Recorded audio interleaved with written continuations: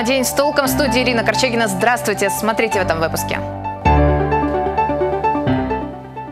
Почему пассажиры новоалтайских автобусов чувствуют себя шпротами в банке, а иногда по часу стоят на остановке? Алтайские врачи провели уникальную операцию по удалению опухоли на ребре. Пациентка уже скоро сможет играть в волейбол.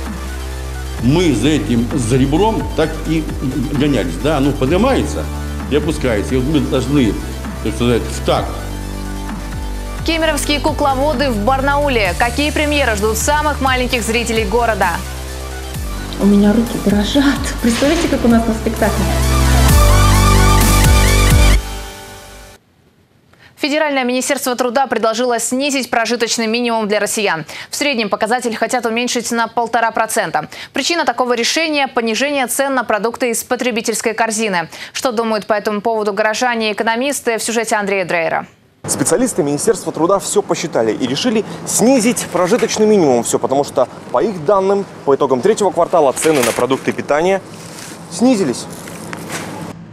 А динамика такая. Куриные яйца подешевели на 4,7%. Стоимость картофеля снизилась на 12,6%. Свекла опустилась на 13%. Цены на сахар упали на 11%. Цена моркови упала на 18%.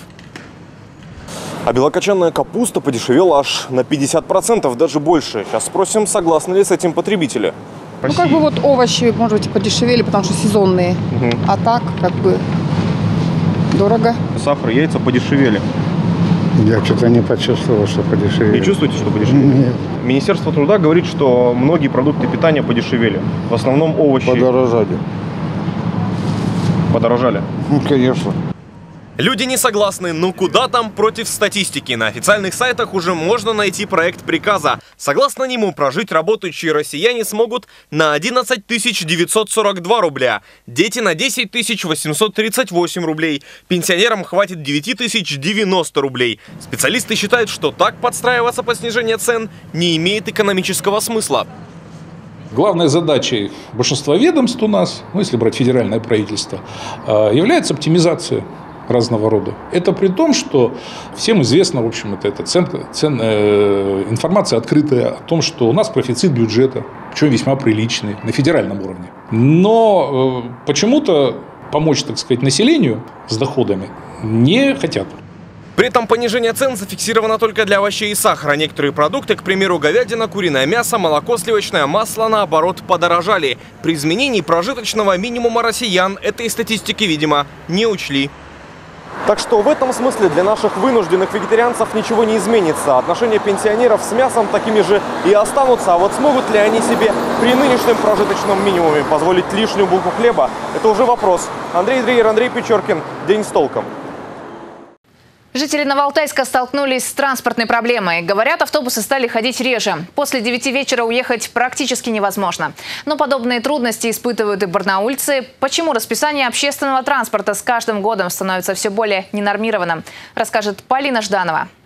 Чтобы уехать домой в Новоалтайск, жителям приходится стоять на остановках по полчаса, а иногда и по часу. Они пожаловались на это в соцсетях.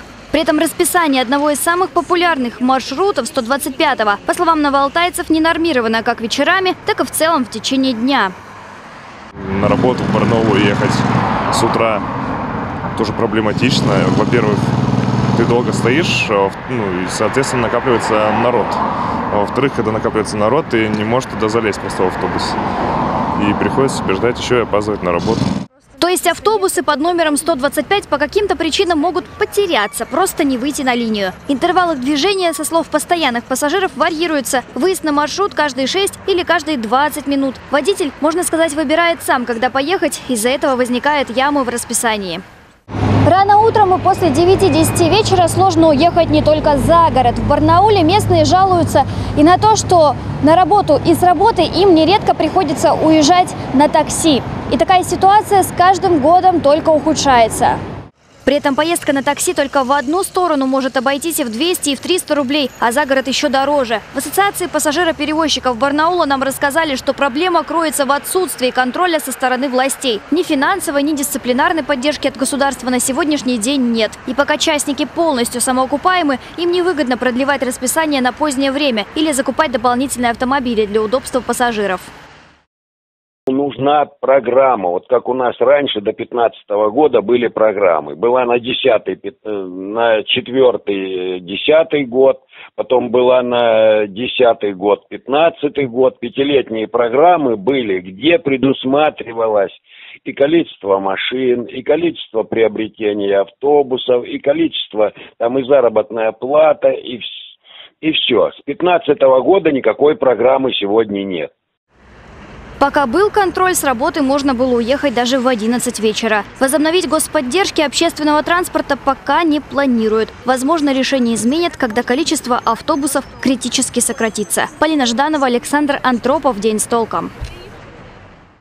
На барнаульских дорогах могут появиться умные лежачие полицейские. Если Алтайский край попадет в число пилотных регионов, то новые технологии коснутся дорог края уже в 2021 году. Нужны ли барнаульским дорогам умные полицейские, расскажет Дарья Демиллер. Сейчас в Барнауле лежачие полицейские интеллектом не блещут, просто лежат. Но свою функцию исправно выполняют. Машины перед ними затормаживают. А это умные лежачие полицейские. Они оснащены комплексом видеокамер и датчиков. И если водитель не нарушает скоростной режим, то барьер не поднимается. Но безопасно ли устанавливать такое в Барнауле? Ты можешь превысить каким-то образом скорость, и вот ты едешь по ровной дороге, и тут перед тобой, как черт из табакерки, выскакивает этот полицейский. Это, ну, А, например, это резкое торможение зимой, которое к заносу может привести. Б – это удар по подвеске очень сильный, который тоже машину может с траектории сбить. Другой аспект – цена. Обычный лежачий полицейский стоит не больше 15 тысяч рублей, а новые барьеры обойдутся в 100 раз дороже, уверен кандидат технических наук Сергей Павлов. Это подразумевает э, достаточно серьезные инженерные работы, прокладывание питания к этим датчикам, э, детекторы, которые бы измеряли скорость, а также э, серьезные инженерные работы. Дорогое и умное устройство, по мнению специалистов, будет беречь подвеску автомобилей и экологию. Благодаря тому, что отпадет необходимость в торможении, выброс вредных веществ в атмосферу уменьшится. Барнаульские водители в основе своей идеи появления умных дорожных неровностей поддерживают, но особого восторга по этому поводу не испытывают. Как относитесь к инициативе? Хотят установить к 2021 году умные лежачие полицейские, которые не будут подниматься, если не нарушается скоростной режим. Ну, в принципе, положительно. Интересно было бы. По идее, должно быть намного лучше, если как раз-таки соблюдать этот скоростной режим. В некоторых местах города до сих пор встречаются очень грубные, обрубленные какие-то, некорректно уложенные куски асфальта, можно так назвать. Пока экспертная комиссия на федеральном уровне определяет оптимальное расстояние между камерой и барьером, с задачей замедлять машины на дорогах Барнаула отлично справляется и неумный лежачий полицейский. Дарья Демиллер, Илья Халяпин. День с толком. В любой момент 9 человек, в том числе один ребенок, могут оказаться под завалами барнаульской двухэтажки. Дом признан аварийным и подлежит сносу еще с 2012 года. В этом году часть собственников расселили, но три семьи до сих пор там. Наша съемочная группа рискнула зайти и посмотреть, в каких условиях люди вынуждены выживать. И почему отказываются переезжать в съемное жилье. Напугались, потому что, понимаете, как будто бы какая-то лавина льда сошла с крыши, и это был такой грохот, прям стены задрожали. Настоящий шок испытали жильцы аварийного дома на Первозападной 49А. Месяц назад в одной из квартир рухнул потолок. К счастью, обрушение произошло в пустующей квартире. Но инцидент до ужаса напугал людей, и сегодня они рассказали и показали, почему. Угол в э, моей кухне вот уже несколько лет подряд э, течет. То есть потому что крыша полностью аварийная. И вот эта стена, это несущая стена, она тоже вся мокрая, сильно провисла, но я думаю, что осенние дожди сейчас начнутся, и у меня здесь произойдет обвал. Сырость, ветхость и плесень в каждой квартире и подъезде. В этом году аварийный дом смогли покинуть лишь те, кто успел приватизировать свои квартиры. Им в рамках краевой программы дали деньги на покупку жилья. Оставшиеся живут здесь по договору соцнайма, ждут очереди и гадают, когда дом разойдется по швам. А вот так жители аварийного дома развлекаются. Ставят маячки на стене, чтобы отследить, как быстро и стремительно расходится их дом. Так, за 2017 год их дом разошелся где-то на 3 сантиметра, а уже за 2018 год в два раза больше, примерно на 6 сантиметров. Жители неоднократно обращались в администрацию района и Министерство строительства края. Но там лишь говорят, что квартиры выделят, как только их получится купить. Но это будет не скоро, уверен общественник Игорь Берг. Аукционы были сорваны по квартирам. Почему? Потому, потому что э, выставлена была очень низкая цена. За одну квартиру они просят 660 тысяч, за другую миллион девяносто восемь и за одну миллион двести шестьдесят. Ну, а что застройщик за это может предложить? За миллион двести пятьдесят может предложить маленькую студию с черновой отделкой. Квартиры закупали по среднерыночной цене, пояснили в мэрии и добавили, что вновь собираются провести аукцион на закупку квартир, а пока жителям предлагают альтернативу. В связи с аварийным состоянием строительных конструкций дома жители неоднократно были информированы о возможности получения ежемесячных денежных выплат на оплату расходов по найму жилого помещения или предоставление помещений маневренного фонда. Однако за предоставлением помещений маневренного фонда компенсации расходов по найму другого жилого помещения в Комитет жилищно-коммунального хозяйства жители не обращались. Но жители боятся, что если сейчас съедут из аварийного дома в съемные квартиры, то обещанного нового жилья им уже не дождаться. Ведь действие программы, в рамках которой их должны расселить, заканчивается в этом году. Валентина Аскерова, Николай Шилко. День с толком. Юные девушки провели операцию по удалению ребра, пораженного опухолью. Такую в нашем регионе сделали впервые хирурги Краевого центра охраны материнства и детства. Почему операция стала для них настоящим вызовом, выяснял Илья Кочетков. Вот так, вот так кисть вверх. То есть это я проверил функцию нервов. Все нервы у нее остались что? Остались целые. Несколько лет назад у Виктории Каэль поднялась температура до 39 градусов, но врачи поначалу не заподозрили ничего серьезного. Нас обследовали и, в принципе, поставили диагноз просто нарушение центров терморегуляции на фоне пубертатного созревания. И в течение трех лет у нас повышалась температура, но мы списывали это на ОРЗ, на какое-нибудь простудное заболевание.